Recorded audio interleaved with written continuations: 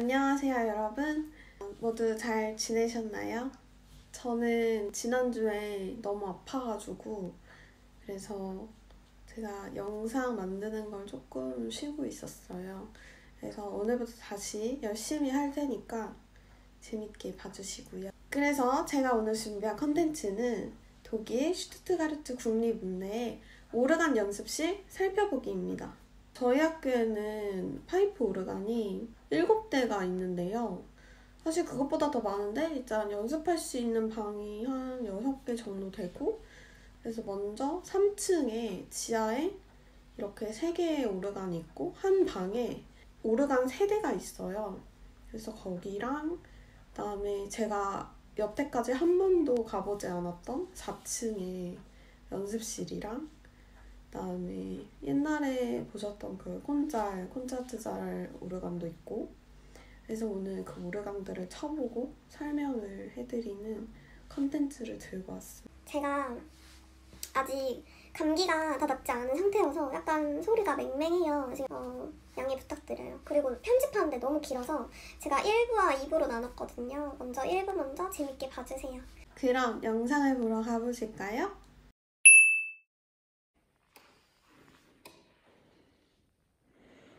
이 방에는 오르간이 3대나 있어요. 여기는 제가 지난번에 쳤던 그 French classic을 여기서 치면 되게 좋고 이거 진짜 다 파이프예요. 그래서 못 들어가게 가이드를 해놨고요. 얘는 한 단짜리 오르간인데 페달이 이렇게 생겼어요. 이렇게 보면 잘 모르는데 앉아서 보면은 페달이 위로 나 있죠. 저도 여기 한 번 쳐봤는데 약간 헷갈리더라고요. 여기 short 옥타브가 있어서 그래서 이게 도, 레, 미, 파, 솔, 라, 시 플랫, 시, 도 이렇게 돼 있습니다. 의자도 저는 뭐 거의 걸터앉는 수준이고 되게 앤틱하게 생겼어요. 여기 오르간이 이렇게 한 단밖에 없어서 어, 여기 도부터는 이제 솔로 음색이 나오고 여기 시부터는 이제 베이스 음색이 나와요. 그래서 여기 보면 바시랑 소프라니 이렇게 나뉘고요. 바시를 이렇게 빼면은 여기까지도 나오죠?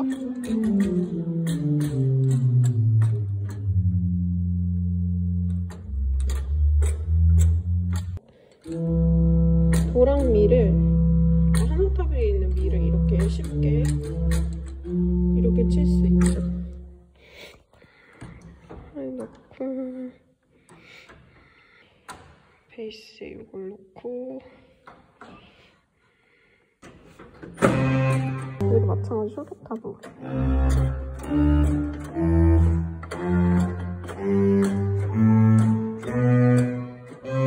제가 커플러를 넣어서 여기도 같이 움직여요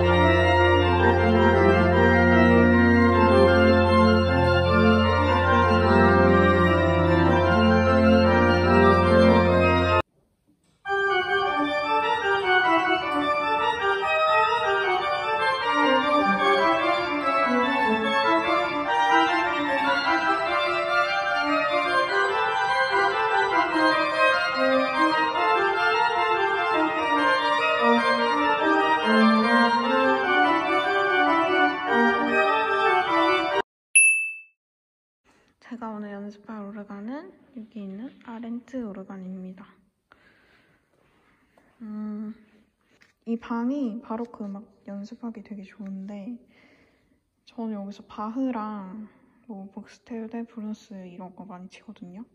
스탑을 보시면 여기 딱 있어야 할 것만 있어서 연습하기 진짜 좋아요. 그리고 일단 가변 아니 건반이 되게 가벼워서 페달도 되게 가볍거든요. 그리고 여기는 당연히 다 일자로 되어 있어서 그래서 연습하기 진짜 좋은 것 같아요. 특히 트리오? 네, 트리오 소나타 연습하기 진짜 좋아서 근데 이 방을 저 제가 거의 한 여기 학교 11월에 닫았으니까 7개월 만에 들어와 보네요. 그리고 여기 가운데 이렇게 피아노가 있습니다. 그랜드.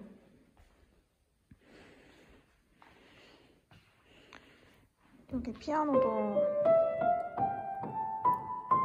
되게 좋아서 사람들이 많이 오는데 이 방은 일단 코로나 때문에 지금 오르가니스트밖에 사용을 못해요. 오르간과 학생들이랑 교회음악과 학생들.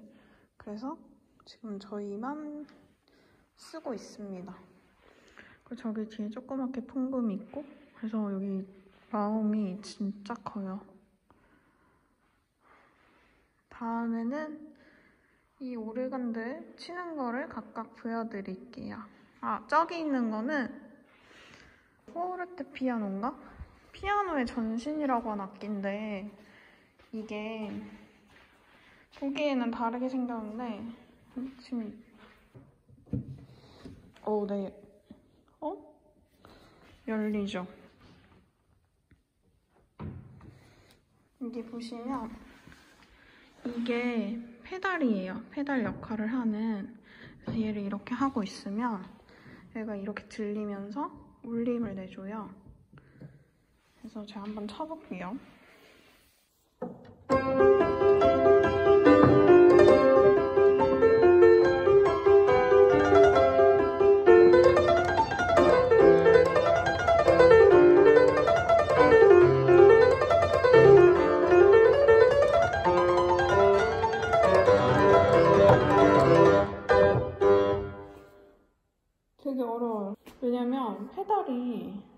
여기 있거든요? 맞추기 진짜 힘들어요. 저 거의 밟아야 되니까 발을 놓을 수가 없어. 그래서 아마 여기다가 이렇게 발판 놓고 이렇게 이렇게 하면 될 것 같아요. 이게 페달이었던 애가 이제 피아노가 이렇게 밑으로 내려와서 저기 보이는 저렇게 그래서 우리가 발로 발목을 사용해서 발로 편하게 밟을 수 있게 되었죠. 근데 생긴 거는 챔발로랑 되게 비슷하게 생기긴 했어요. 이렇게 포르테 피아노까지. 원래 여기에 챔발로도 있었는데 챔발로는 지금 위로 갖다 놓은 것 같고 그럼 전 이제 연습을 해보도록 하겠습니다. 여기 건반이 이게 스프링 소리 들리세요? 되게 통통 튀는데 되게 짧아요. 되게 짧아서 손 모양 이거 옆에서 보면은 이런 식으로 이렇게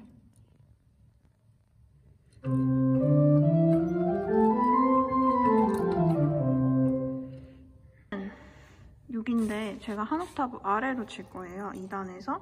그래서 원래는 자리가 여기인데 제가 한 옥타브 낮춰서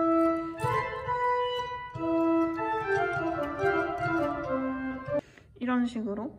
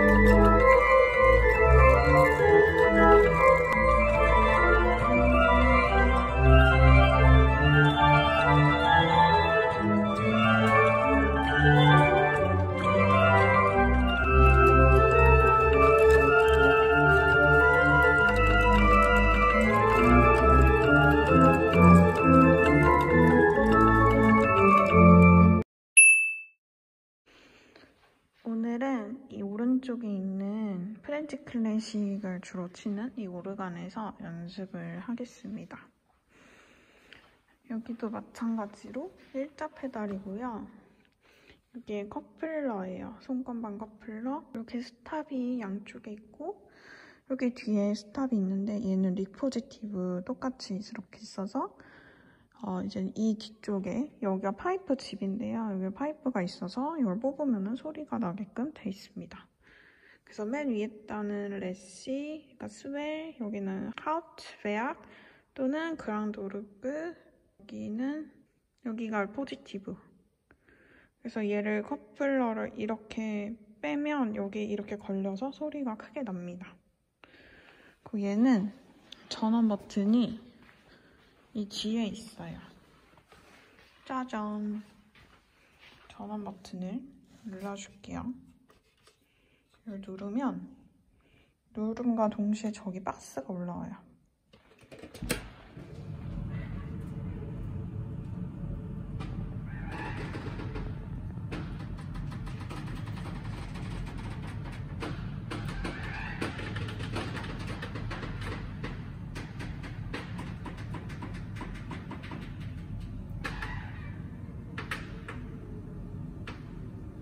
저게 바람 상자인데 저기에 바람이 가득 채워져야 파이프에서 소리가 날 수 있거든요. 그래서 파이프가 이제 뚜껑이 이제 제가 건반을 누르면 이제 그 파이프로 바람이 들어가서 그 바람으로 인해 소리가 나는 건데 파이프 건반을 많이 누르면 많이 누를수록 바람이 많이 필요해요. 그래서 저 옛날엔 저 바람 상자 저거를 사람이 일일이 이렇게 밟으면서 바람을 채웠었어요. 근데 지금은 기술이 좋아져서 이제 전원 스위치만으로도 바람이 채워지게끔 되어 있습니다. 페달의 스탑은 이렇게 3개가 있어요. 그래서 바스, 플루팔, 그리고 트럼펫 팔 이렇게 있고 이쪽에 있는 거는 두 번째 건반을 위한 스탑들이고요. 이쪽은 거의 이제 프린치팔 계열이나 이제 티아스, 믹스투어 그리고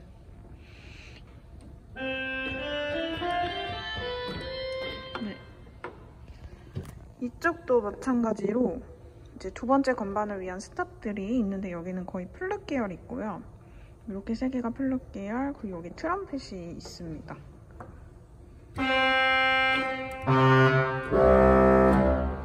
트럼펫이 있고 이 cornet은 어, French classic에서 많이 사용되는 스탑인데요. 얘를 다섯 개의 스탑으로 만들 수도 있지만 이렇게 하나의 스탑으로도 소리를 낼 수 있어요. 얘는 솔로를 위한 거라서 여기서부터 파이프가 있어요. 그래서 여기서부터만 소리가 나요. 볼게요. 근데 이 밑으로는 소리가 안 나요. 제가 뽑아놓고 있는데 소리가 안 나죠?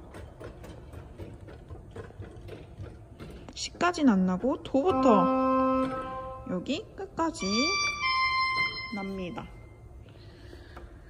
그리고 이 세 번째 스웨를 위한 스탑은 이렇게 있고요. 얘도 마찬가지로 여기 코로넷이 있어요. 얘도 이 코로넷은 얘도 솔부터 나네요.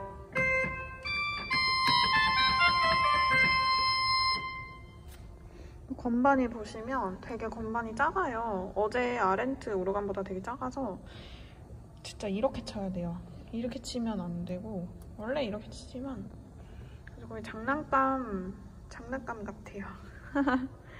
그 얘는 여기 손잡이를 이렇게 앞으로 당기면 앞으로 당기면 제가 여기 이렇게 스탑을 두 개 넣었거든요. 이 소리가 여기로 옮겨가는 거예요. 그래서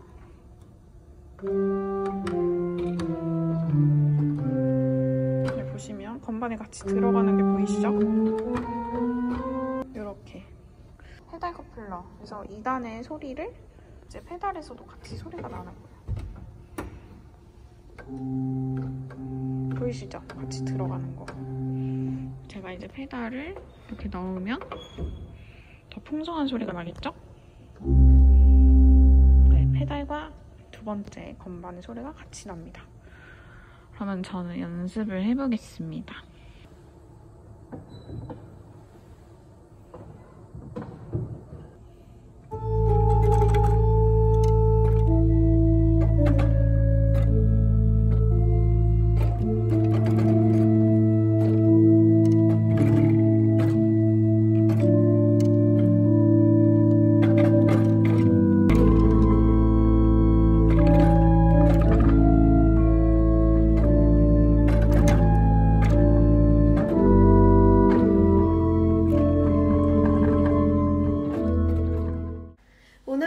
봐주셔서 감사하고요. 구독과 좋아요, 알림 설정 부탁드려요. 안녕.